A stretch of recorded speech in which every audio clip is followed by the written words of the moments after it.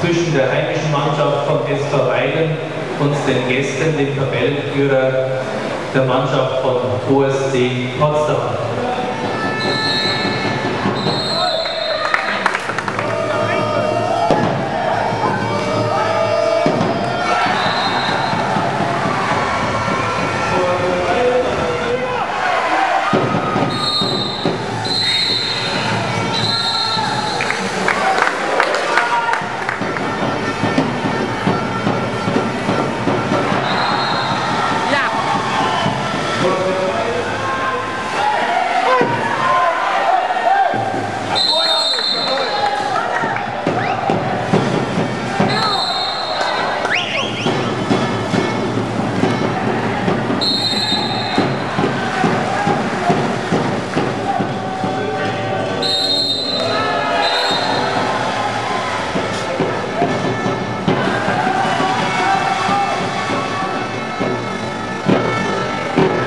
Thank you.